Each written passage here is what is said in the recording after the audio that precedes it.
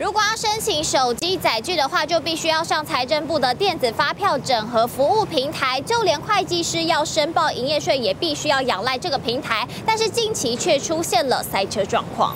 就是因为政府营业税申报期间，加上近年电子发票使用急剧成长，导致平台流量达到高峰，影响最有感的就是会计师。嗯，十一号的时候，座位一直卡在刚刚的前面画面，就进不来。要帮客户申报营业税，平时熟悉的作业流程，几分钟就搞定。从九月十一号增加排队机制，是从登入这一关就开始卡，连带影响到后续申报作业。我们最后退而求其次的方式的话呢，就会变成是说，呃，我们就离峰，可能是大家下班的时候，呃。我们就会留下来加班。那在加班的时候，呃，平台可以顺利登录的时候，我们再去下载这个资料。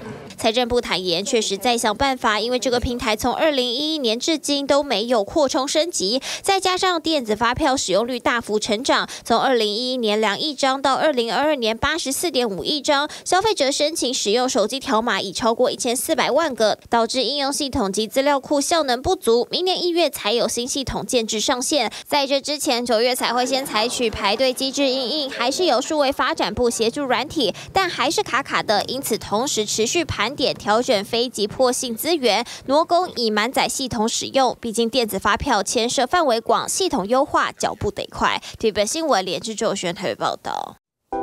想看最完整的新闻内容，记得下载 TVBS 新闻网 APP。